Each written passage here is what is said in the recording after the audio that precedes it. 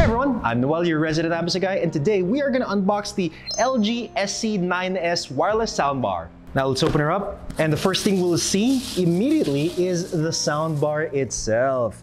There you go, yeah. Look at that, very nice, very awesome.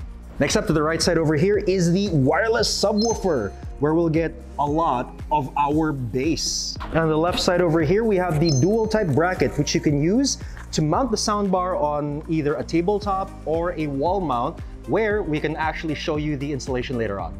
Then we have the remote, then we have the power cables and the included HDMI cable. Finally, we have the documentation which shows you how to install and use your brand new soundbar. The awesome thing about the dual type bracket of the LG SC9S wireless soundbar is that it also goes perfectly with the LG C2 and C3 OLED models. To wall mount your LG SC9S soundbar and OLED TV, First, make sure that the VESA certified wall bracket for your OLED TV is already mounted to your wall. Next, connect the included spacer to the bracket.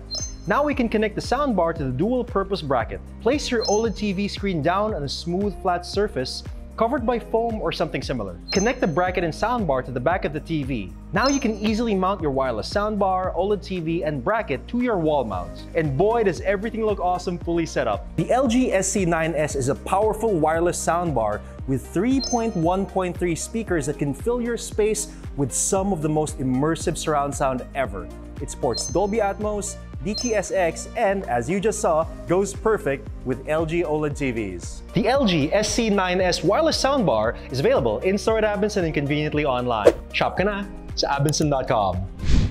Check out these videos for other amazing items that are available at Abenson and subscribe to our channel for more awesome content.